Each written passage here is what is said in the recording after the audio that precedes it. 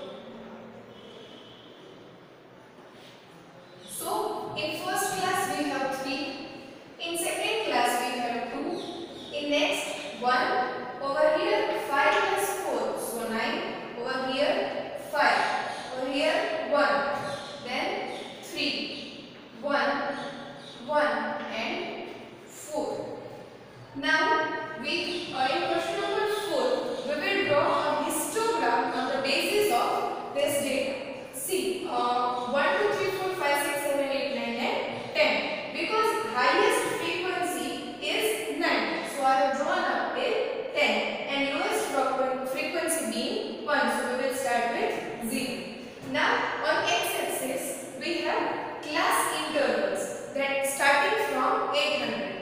So we will write 800, 810, 820, 830 and so on till 900. Now we have three workers between 810, uh, 800 to 810. So this graph will also